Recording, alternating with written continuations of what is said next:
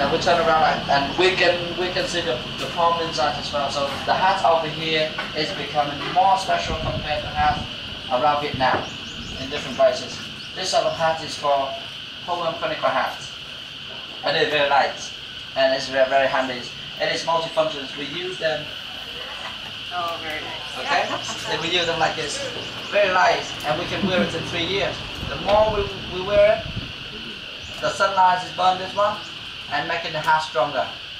Then we can sit on it. Lots people they sit on it. They use this one to cook the water.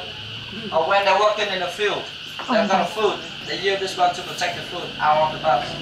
They've got a food place in it and put this one on top to protect the food out of the bugs and insects. So multifunction hats. We also have